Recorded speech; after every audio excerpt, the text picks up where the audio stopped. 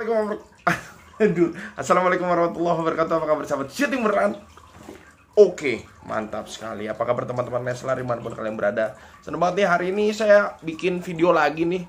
Aduh, luar biasa ya. Cuma kita ngevlog ya, seperti biasa ngevlog nih kalau lagi ada kegiatan keluar. Nah, teman-teman, kali ini kita akan ngebahas tentang hal yang lagi rame yaitu bagaimana uh, tentang kantor Leslar yang akan dibangun di rumah gitu. Nah, seperti apa keseruannya? Kawan kan mungkin bisa lihat dari artikel ini. Oke, dan lalu berikan juga komentar kalian.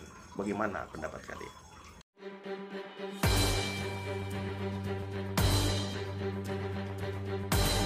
Serba-serbi kepindahan dari aktor muda Rizky Bilar dan Lesti Kejora selalu menjadi berita yang kerap ditunggu-tunggu oleh fans dan para penggemar setia Leslar.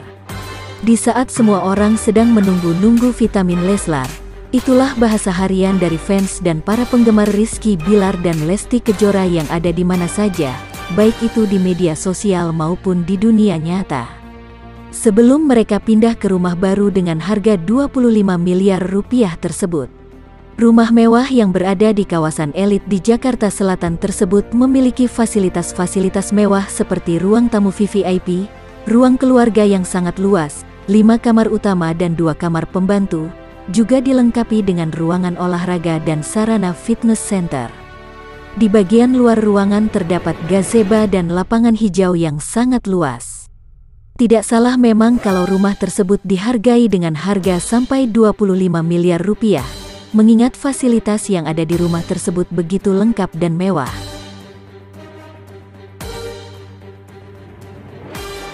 Namun tidak banyak yang tahu, bahwa ternyata alasan dari aktor muda Rizky Bilar dan Lesti Kejora rela menghabiskan uang banyak demi membeli rumah mewah dengan halaman yang luas itu, lantaran pasangan muda ini ingin membangun sebuah kantor entertainment di dalam pekarangan rumah mereka nanti.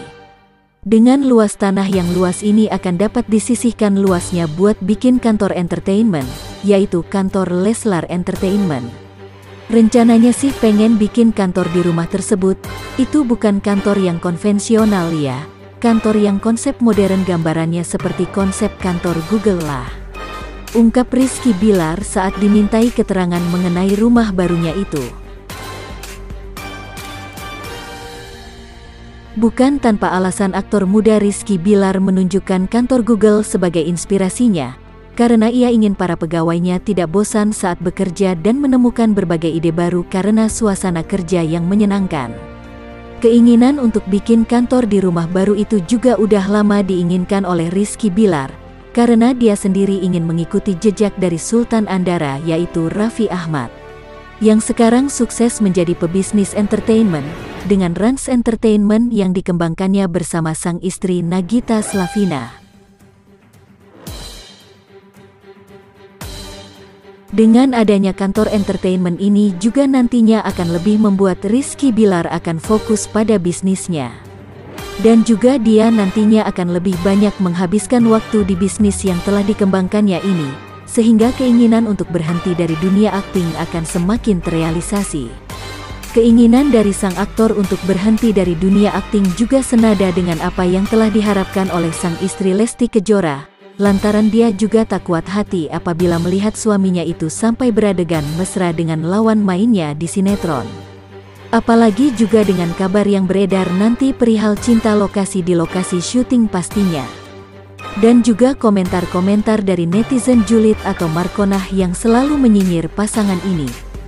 Juga telah banyak dari fans dan penggemar setia Leslar mengharapkan bahwa Rizky Bilar agar lebih fokus pada bisnisnya saja, atau mencoba menjadi host di acara-acara televisi.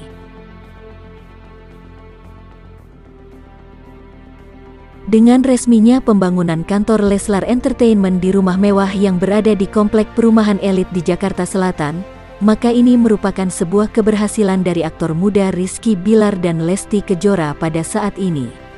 Dengan keberhasilan tersebut telah menjadi sebuah prestasi yang membuat pasangan muda ini menjadi pasangan yang akan menjadi inspirasi dari kaum muda pada saat ini. Yang akan mengarungi belahtera pernikahanan nantinya, supaya bisa menjadi contoh yang baik seperti yang telah dilakukan oleh Rizky Bilar dan Lesti Kejora, yang telah membuat siapa saja akan terkesan dan kagum dengan pencapaian dari kedua pasangan artis ini.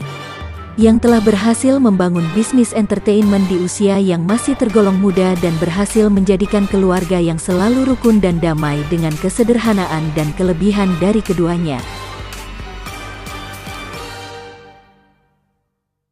Kita doakan saja semoga dengan kepindahan dari pasangan Leslar ke rumah baru ini, akan lebih menjadi keduanya sebagai pasangan suami istri yang bisa selalu bersama dalam suka maupun duka, dan tidak akan ada perpecahan di antara keduanya nanti.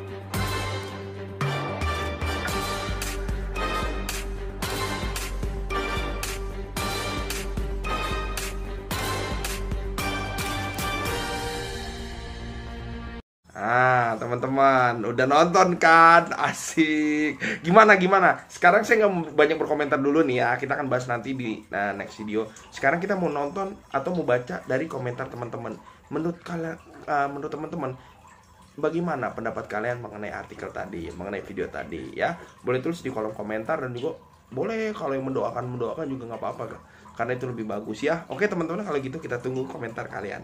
Oke sekali lagi syuting beran oke the power of Leslar assalamualaikum warahmatullahi wabarakatuh. Dah.